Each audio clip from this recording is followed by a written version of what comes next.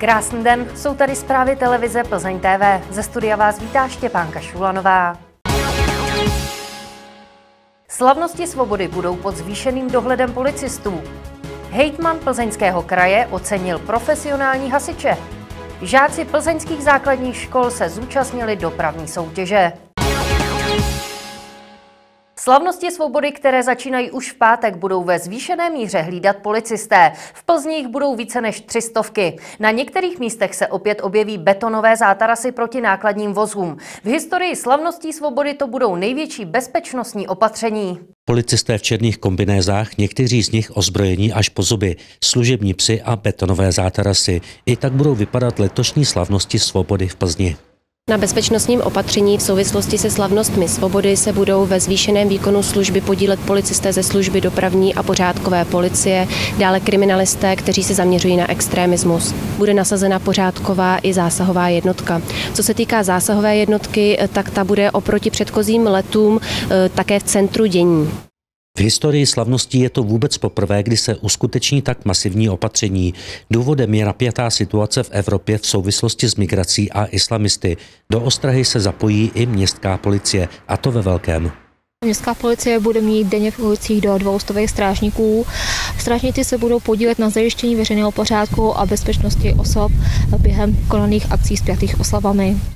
V některých místech se opět objeví tzv. city bloky, tedy betony, které mají zabránit vjezdu nákladních vozů. Je to reakce na útoky na lidi pomocí nákladňáků, které se odehrály v okolních státech. Z dopravně bezpečnostního hlediska dojde k uzavření některých komunikací. Zvýšený dohled bude věnován také průjezdům nákladních automobilů. Do vybrané lokality by se neměly vůbec dostat. Mezi takzvané měkké cíle, tedy místa, kde je větší množství lidí, patří i pětní akty, které začínají už v pátek.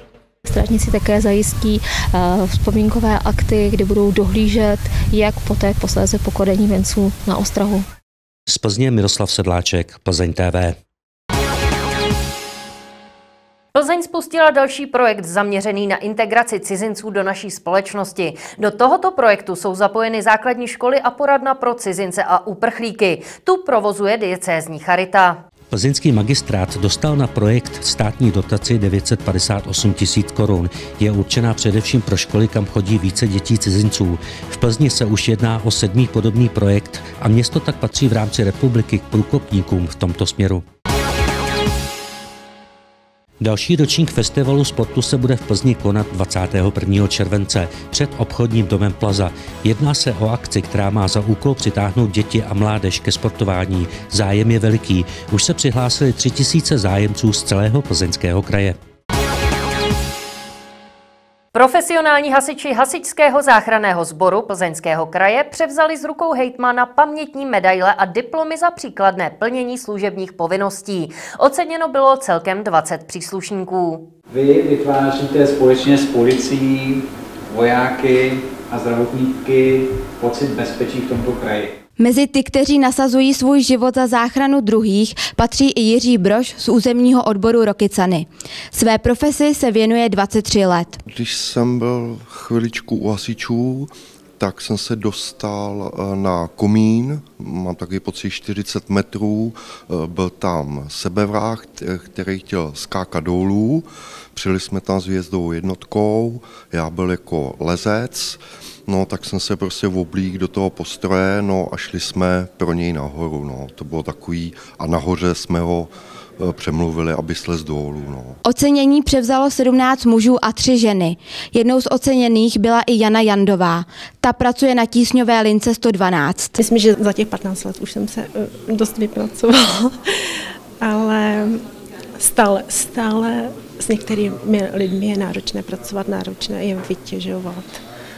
Ale zase na druhé straně chápu, protože uh, oni jsou ve velkém stresu, potřebují pomoc a chtějí to okamžitě a teď a uh, kolikrát si sami neuvědomují, co nám vlastně odpovídají, ale já jsem na té straně, kde to musím vytěžit a ta zodpovědnost je hodně potom na nás, na tísňovkách. Plzeňský kraj vyznamenává výjimečné lidi a mezi ně patří i profesionální hasiči. Ti, kteří uh, zaprvé buď něco udělali zvláštního v rámci minulého roku, ať už je to záchrana lidského života nebo nějaká velmi složitá akce v rámci hasičského záchranného sboru, anebo ti, kteří celou svou celoživotní prací přispěli k tomu, že Plzeňský kraj je nejlepší místo pro život v České republice. Pro Plzeň TV Iva Brožová.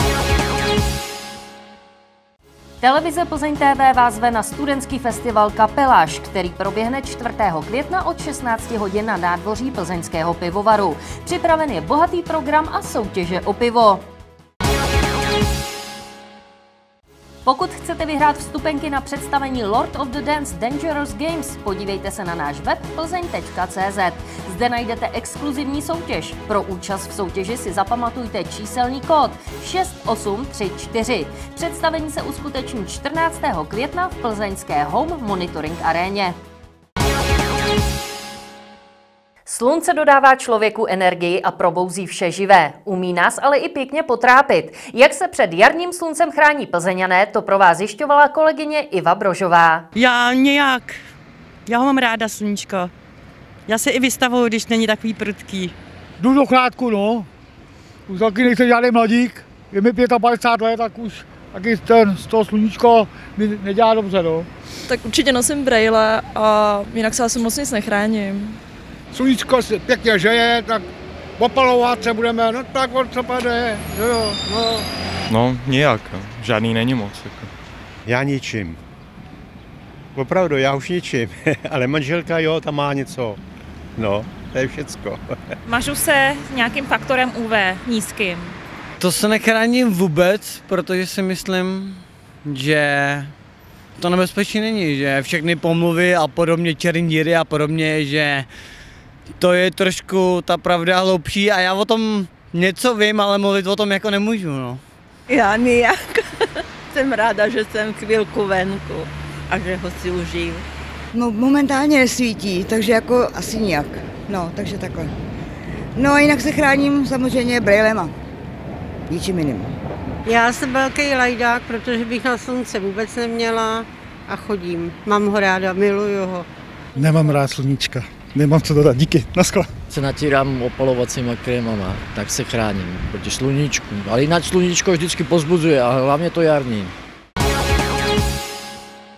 Oblastní kolo dopravní soutěže základních škol v Plzni se dostalo do finále. Celkem se ho zúčastnilo 78 dětí, které měřily síly v testech, zdravovědě, jízdě zručnosti a znalosti silničních pravidel.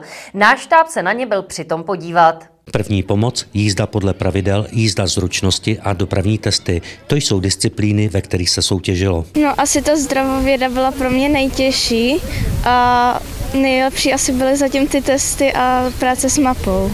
Pral jsem se se zdravovědou, tam jsem musel resuscitovat a to mi nešlo. A jinak tuto jízdu zručnosti zvládám vždycky. Zatím jako pro mě bylo nejtěžší zatím jako testy a asi tohle to. Jinak jako všecko bylo tak jako v pohodě. Městská policie společně s policií České republiky tady ještě dopravní hřiště. Úkolem strážníků a policistů je kontrolovat soutěžící, zda striktně dodržují daná pravidla. Oblastního kola se zúčastnilo 17 základních škol z Plzně, to je 78 žáků, na půl chlapci, na půl děvčata mají daleko větší znalosti než někteří řidiči, který vlastně řidický průkaz, takže je to soutěž skutečně velice populární a u všech těch dětí a i u učitelů velice oblíbená. Zájem o dopravní soutěž je rok od roku mezi školami vyšší. Dokazuje to i skutečnost, že se jich do oblastního kola přihlásilo víc než v loni.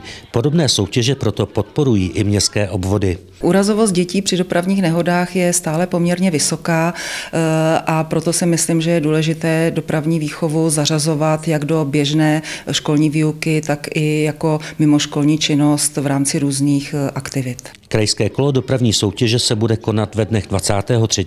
a 24. května. Z Plzně Miroslav Sedláček, Plzeň TV. Zprávy jsou u konce. Vy od obrazovek ale rozhodně neodcházejte. Na řadě je pořad Lifestyle s Vláďou Jarošem. Ten si tentokrát pozval hudebního producenta Stano Šimora. Příště opět na viděnou.